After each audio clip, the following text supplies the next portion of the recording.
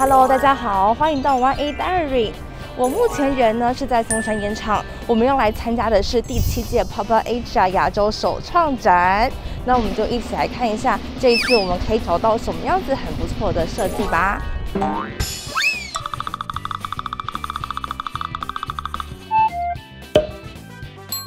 Papa Asia 亚洲首创展这次来到第七届啦，今年主题是 Be Original，敢于创造。在松店这边呢，包下了三四五号仓库进行展出，来自台湾、泰国、日本等三十个亚洲的国家城市，超过三百五十个精选品牌。那除了我自己平常最喜欢的文具文创之外呢，这边还有很多和食衣住行相关的文创设计哦。那我们就不要依照仓库的类型，单纯按照我个人喜好来分享一下，我到底看了哪一些，又买了哪一些吧。首先，我们来看到的是左翼设计。如果是我们频道的老观众，对于他们的设计可能会有印象。我们曾经在二零二零年的文具展捐印了一个真奶台湾小包包。那这次品牌带来的呢，就是真奶台湾的系列作品啦。除了我们先前看过的手提袋，这一回有推出摸起来手感很好的大型抱枕，以及全新的系列带着走的台湾小岛民徽章。主要呢是象征饮食文化的真奶台湾，还有很常见的蓝白托台湾，以及象征历史传承的嘎吉迪亚台湾。创作者说会想要做这个系列的产品啊，是因为在出国的时候，很常被问到你从哪里来，那就算回答说是来自台湾，但对方有可能还是不了解，所以就设计了一个系列，结合台湾形状和台湾特色的小徽章啦。各位如果有到海外交流的机会呀。这也会是很适合用来介绍的特色小物哦，也希望未来可以有更多更多不同主题的可爱台湾出现。我也想要小贴纸啊！这一次跟着朋友一起逛展，认识这一位来自曼谷的艺术家 Erdy。各位看一下这些作品，充满普普风的明亮和活力，用看似简单的几何线条和色块，打造出很多很可爱的小动物啊、小水果以及人物和场景。整体的画面营造用色很明亮饱和，但不会过于刺眼，反而呢会有一种疗愈的风格。OK，频道老朋友们应该也对品出钢笔很有印象吧？我们在两年前的耶诞节前夕有介绍过这个品牌，那现在基本上我在工作的时候都使用他们家的暗黑星球，非常顺手。这次就要来看看还有什么可以添购的好东西。首先看到这边有单色系的细致钢笔，还有十颗纹路钢笔，以及渐层色系的钢笔们。那我这一次特别上中了珍珠白、珍珠蓝系列的钢珠笔，必须要带一支回家。这一回还有看到这个六角木头钢笔，它的笔盒和笔身全部都是木质的，拿起来很有分量，也很有质感，但是握起来是比较粗一点点，适合手再更大一点的人来使用。但这些钢笔都可以再刻制化刻字上去哦。我们之前是选择低调的黑灰色刻字，现场看到烫金的字也非常漂亮。另外，品珠钢笔还有一些皮件和木制品，上头的图案也都可以刻制化。至于现场陈列的礼盒，会因应不同节庆有不同的搭配，各位可以关注一下哦。对了，钢笔的墨水色呢是越来越丰富喽，超级美丽。好的，我们来看到来自马来西亚的纸品品牌，各位满满的手抄纸哎，使用不同媒材制作的手抄纸，让每一张纸都具有不同的风貌。那他们加染好单色系的纸张呢，每一张都是这一种很柔嫩的呈现。比方说这些小卡片呢，还有小本本，颜色都非常可爱，手感非常好。那要特别介绍的呢，是这一款闪亮亮包装，里面装的是明年度的月历哦。各位看一下，每一个月份都是不同颜色堆叠起来的彩虹渐层，很迷人，也很有质感，适合拿来当新年礼物送人。而且整体来说啊，他们家的手抄纸从品质到价格综合来看，CP 值高。如果之后又来台湾的话，我绝对是手刀冲来挑选。再来，我们可以看到的是各大厂商琳琅满目的包装盒。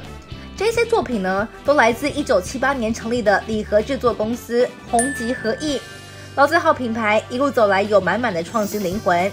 他们家有非常完整的设计生产团队，可以把各种设计构想变成实体的礼盒，所以无论是精品啊、茶叶、酒类，适用于不同物品的盒子，都可以在红吉找到。而且我在现场啊，随意拿几个盒子来翻啊，每一个都超精致的哎。另外呢，他们还有推出可爱的蛋糕礼物盒，让你可以自己回家 DIY。品牌平常也会前往大专校院和学生来分享产业相关的知识，是非常有意义的活动哦。哦，一开始会被黑色隽永吸引，就是因为看到这一盏灯。你不晓得它是什么材质做成的，到了摊位才知道，原来是构树的树皮哦，相当特别。这个品牌是以树皮纤维工艺为主的设计品牌，团队成员来自屏东，由排湾族和卢凯族青年所组成。他们从生活中取材，选择常见的构树当成创意发挥的主角。那构树呢，是台湾的原生种植物，主要分布在平地和低海拔山区。树皮富含纤维，早期的台湾原住民有使用树皮布当成衣服的文化。那团队就是从这样子的概念来当发想的，把树皮反复敲打成一整片的素材，再来加工制作。依照敲打的时间等各种要件不同，就可以获得不同厚薄度的素材。我们可以看到这些摆设和灯饰。每一件都有不一样的纹路和色泽，带有绝对的独特性，相当令人惊艳呢。好的，在 Papa Asia 当中有很多的香氛品牌，我这一次在香氛森林驻足呢，是因为我看到了你好工作室的小狐狸啦。品牌有和你好工作室推出联名款的香氛蜡烛，那除此之外呢，也有好好的感受现场陈列的香氛喷雾们。刚好他们家不管是蜡烛还是精油或香氛。这种透明包装搭配原木盖子的设计，相当符合我的眼缘。团队说他们使用的是有认证过和国际大厂同等级的原料，整体来说味道都不会太浓烈，有一种淡雅简约气息。适当喷一两下，整个人立刻变得又香又高级。好的，我们复习完现场摊位，就要回家来开箱看看我买了哪些好物喽。第一项商品隆重介绍。我带了小岛民徽章当中的蓝白拖回家，各位看一下这个闪耀的光芒，就可以知道说它制作非常精美。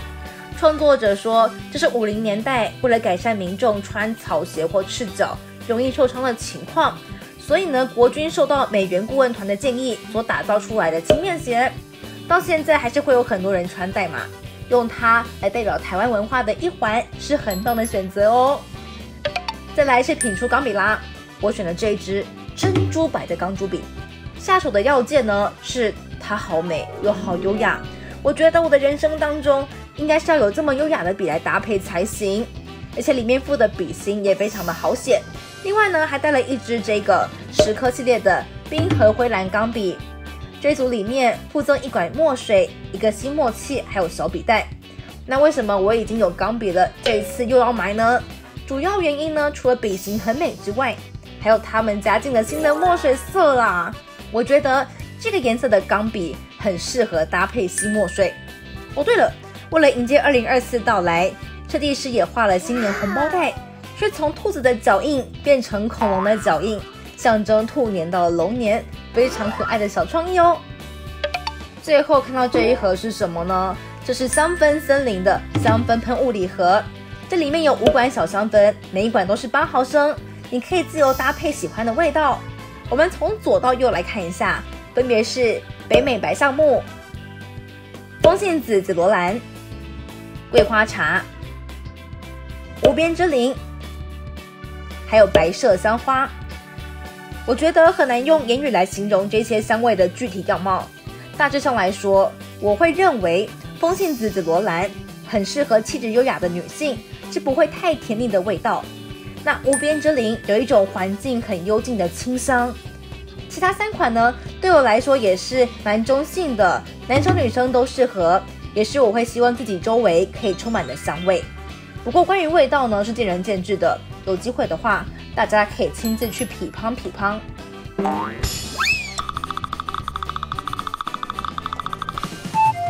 好啦，以上是我们在二零二三年 Papa Asia 亚洲首创展的回顾喽。希望各位在这一次的展览当中度过美好时光。不晓得您最喜欢哪一个品牌，又或者是有什么让你印象深刻的好设计呢？欢迎在影片底下留言和我们分享哦。下次见啦，拜。